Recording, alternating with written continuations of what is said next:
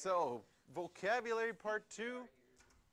An expression is any group of terms. So, any polynomial, any monomial, any binomial, those are all expressions.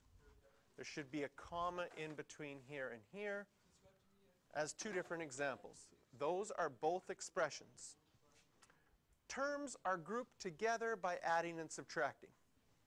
So the first one there, 4x plus 7y, what kind of polynomial is that? Do you remember from your definitions? The 4x plus 7y. What is what kind of polynomial is that? One with two terms. Like terms. No, it's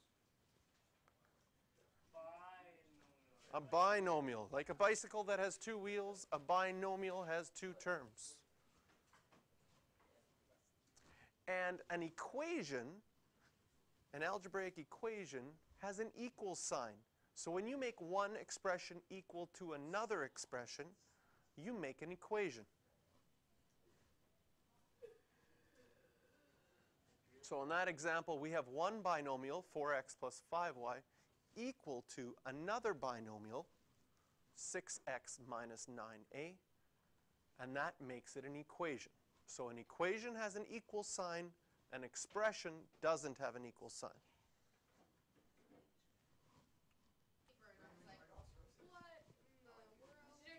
Now. Combining what we were doing with our like our idea of grocery bags and putting apples together with apples, putting together our like terms is called simplifying in math. So if we can combine our like terms, that's called simplifying. Later on, we'll look at substituting variables in. Let's say you work does anybody have a job outside of school? I do. Okay, so Abe's working his job. One day he works, one day he works three hours, and the next day he works five hours. Eight hours a day. Wait, Okay, you didn't even have a job. I worked but we don't know. We haven't asked Abe how much money he makes. So we're gonna say,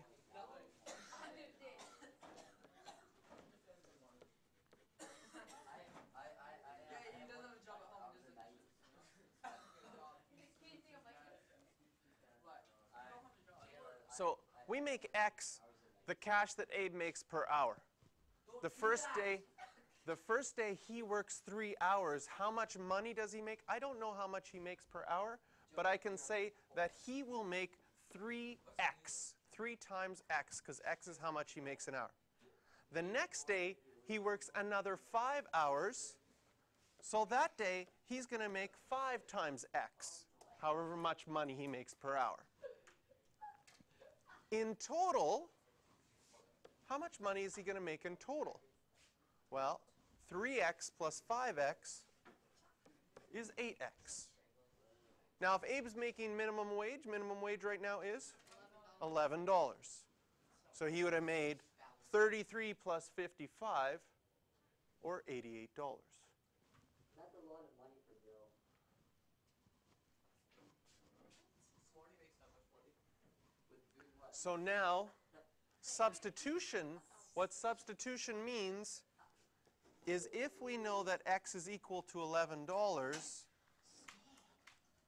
then 8x is the same as 8, and when we substitute it in, we put it in brackets where it was. So where the x was, we put 11, and 8 times 11 would be 88. So sometimes we use algebra before we know a value, and then once we figure out what that value is, we can substitute it in.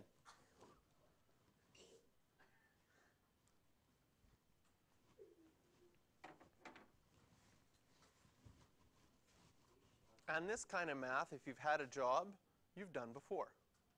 Because you count up your total amount of hours and then you multiply it by how much you make per hour.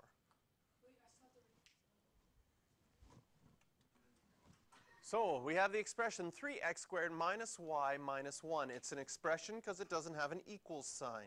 In that expression, there are three terms, and you have to solve the following questions. Can you see them or are they a little small?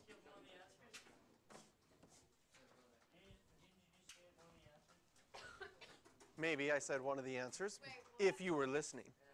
Okay. So, who's coming up first? On video later on, you guys are all right. And it appears that Ryan might also become an art teacher uh, in the future. So we're still working with 3x squared minus y minus 1. I'll write it up here so you can still see it.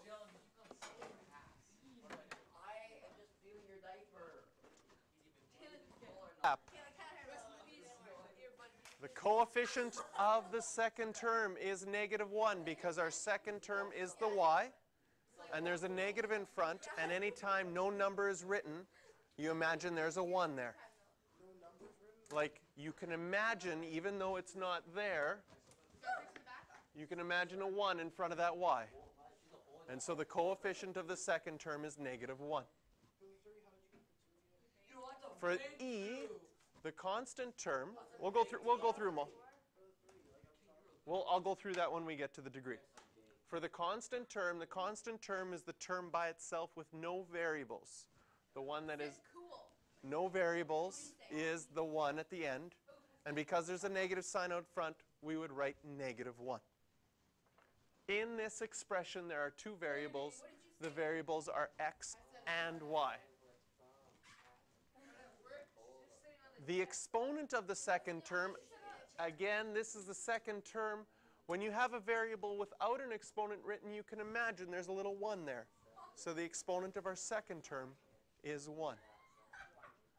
And finally, to figure out the degree of a polynomial, you look at the degree of each term in the polynomial. So our first term, the degree of 3x squared is 2 because the degree is adding up all the exponents in the term.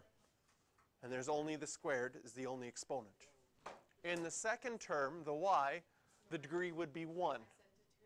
And in the third term, there is no variables, so the degree would be 0.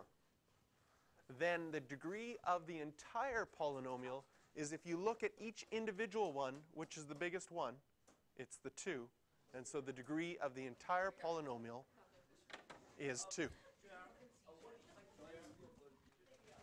So in these examples you came up with, notice that all of them have three terms. Guys, sit down, Jayla. Quiet, please, guys. Okay. Notice that all of them have three terms. We can tell. We, we can tell they have three terms because there's something plus something plus something, or every time there's adding or subtracting, that sep- separates our terms. So each of these examples has three terms. That makes them trinomials. That would be a starting point because we know we have to have a trinomial. Each of our trinomial needs to have four variables. The first one has an a, an x, a b, and a y.